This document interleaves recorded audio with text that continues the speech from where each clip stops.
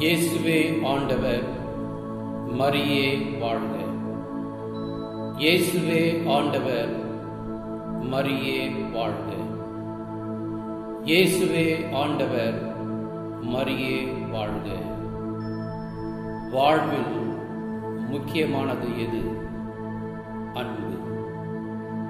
இறை இயேசுவில் பிரியமானவர்களே இறைவனால் இறைவனுக்காக படைக்கப்பட்டு அவரில் சரணடைந்து அவரோடு இணைந்து வாழ்கின்ற பொழுது நம்முடைய வாழ்க்கையில் வருகின்ற சோதனைகளை நாம் வெற்றி பெற்று நம் வழிபாட்டின் வழியாக நாம் அவரை முழுமையாக அன்பு செய்து அவர் உருவாக்கிய குடும்பத்தின் உறுப்பினர்களாக நம் வாழ்க்கை பயணத்தை தொடர்ந்து கொண்டிருக்கின்றோம். இந்த வாழ்க்கை பயணத்தில் என்னுடைய வாழ்வு சிறப்பாக இருக்க வேண்டும். மேலும் நான் என்ன செய்ய வேண்டும் என்று சிந்தித்து பார்க்கின்ற பொழுது இறை அன்பை நான் வெளிப்படுத்த அழைக்கப்பட்டுள்ளேன் என்ற உணர்வு என்னில் எழுகின்றது. ஆக இந்த அன்பை நாம் பிறரோடு பகிர்ந்து கொள்ள வேண்டும் என்று சிந்தித்து பார்க்க உங்களை நான் அழைக்கின்றேன். ஒன்று குருந்தியர் பதிமூன்றாம் அதிகாரம். அன்பின் தன்மையை நமக்கு மிக அருமையாக எடுத்து கூறுகின்றது. நான் என்ன சொன்னாலும் எதை நம்பினாலும் என்ன செய்தாலும் என்னிடம் அன்பு இல்லையே நான் ஒன்றும் இல்லை என்று பவுல் அடிகளார் மிக அருமையாக கூறுகின்றார். ஆகவே இறைவன் என்றால் அன்பு என்று கூறுகின்ற அந்த இறை அன்பில் நானும் வளர்ந்து அந்த அன்பை நாம் பிறரோடு பகிர்ந்து கொள்ள அழைக்கப்படுகின்றோம். அப்பொழுதுதான் நம்முடைய இந்த குடும்ப வாழ்வு உண்மையானதாக அமையும். அவை இறைவன் விடுக்கின்ற அழைப்பை நாம் ஏற்றுக்கொள்வோம். நம்முடைய அன்பு எப்படிப்பட்ட அன்பாக இருக்க வேண்டும் என்பதை கலாத்திற்கு திருமுகம் ஐந்தாம் அதிகாரம் பதினான்காவது வசனத்தில் நாம் பார்க்கின்றோம். உன் மீது அன்பு கூறுவது போல உனக்கு அடுத்து இருப்பவர் மீதும் அன்பு கூறுவாயாக என்று இறைவன் அங்கு நமக்கு கூறுகின்றார். அவை நம்முடைய அன்பு முழுமையானதாக இருக்க வேண்டாம். முழுமையான அன்பாக இல்லாமல் இருக்க எது தடையாக இருக்கின்றது என்று நாம் சிந்தித்து பார்க்கின்ற பொழுது தன்னலம் என்பதை நாம் அறிகின்றோம். எப்பொழுது ஒருவன் சுயநலத்தோடு வாழ ஆரம்பிக்கின்றானோ அப்பொழுதுதான் அவன் அன்பு என்ன என்று உணராமல் வாழ்கின்றான் என்பது அவனுடைய செயல்களின் வெளிப்பாடாக வருகின்றது. மாறாக எப்பொழுது ஒருவன் அன்பை மையமாக கொண்டு தன் வாழ்க்கையை வாழ ஆரம்பிக்கிறானோ அப்பொழுது அவன் இறைவனுடைய சாயலாக மாறுகின்றான். ஏனென்றால் கடவுள் அன்பின் அவதாரம் என்று சொல்லுகின்றான். ஆகவே நம்முடைய குடும்பத்தில் இருக்கின்ற ஒவ்வொருவரையும் நாம் சந்திக்கின்ற ஒவ்வொருவரையும் நிறைவாக அன்பு செய்ய இறைவன் நம்மை அழைக்கின்றார் ஒன்று பேதுரு ரெண்டு பதினேழில் வாசிக்கின்றோம். சகோதர சகோதரிடம் அன்பு செலுத்துங்கள் என்று. இதைதான் பவுல் அடிகளார் கலாத்திரை திருமுகம் ஆறாம் அதிகாரம் பத்தாவது வசனத்தில் கூறுவார். இன்னும் காலம் இருக்கும் போதே எல்லாருக்கும் சிறப்பாக நம்பிக்கை கொண்டோரின் குடும்பத்தினருக்கும் நன்மை செய்ய முன் வருவோம் என்று.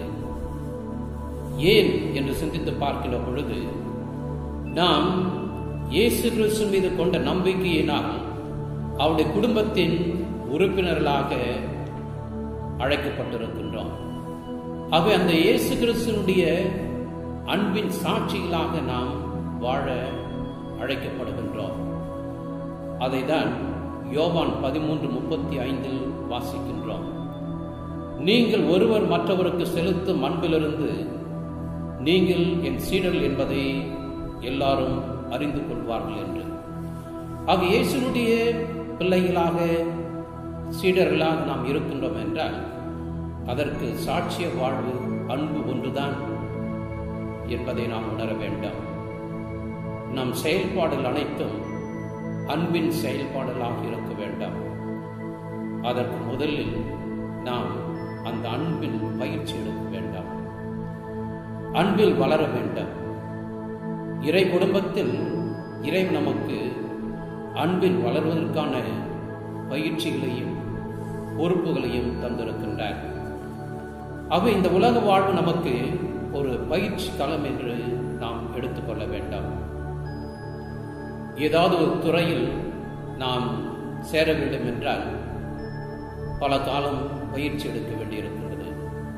அந்த பயிற்சி நாம் தேர்ச்சி அடைந்தால்தான் நாம் சேர வேண்டிய அந்த வேலையில் சேர முடியும். அல்லது நாம் விருப்பப்படுவது போல் செய்ய முடியும்.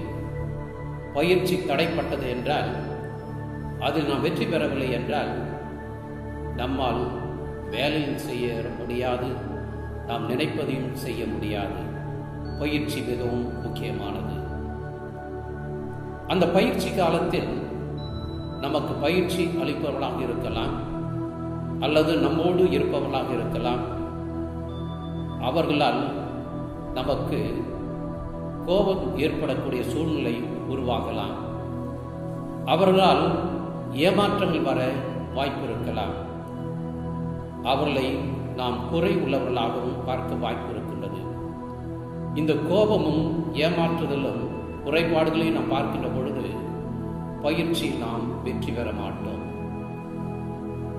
அதே போன்றுதான் இந்த உலக வாழ்க்கை பயிற்சியில் இந்த குறைபாடுகளோடு கோபங்களோடு ஏமாற்றத்தோடு நாம் வாழ்ந்தோம் என்றால் அன்பின் வளர்ச்சியில் பயிற்சியில் நாம் தோல்வி அடைந்து விடுவோம்.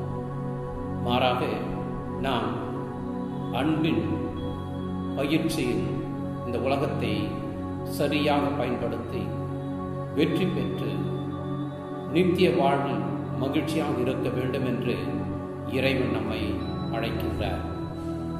ஆக இறை அன்பு நம்மில் எப்படி இருக்கின்றது? அந்த இறை அன்பு உணர்ந்தவளாக வாழ்கின்றோமா? என்று பார்க்கின்ற பொழுது பல நேரங்களில் இல்லை என்றுதான் நம்மால் கூற முடிகின்றது. மீன் தண்ணீரில் நீந்து கொண்டிருக்கின்றது.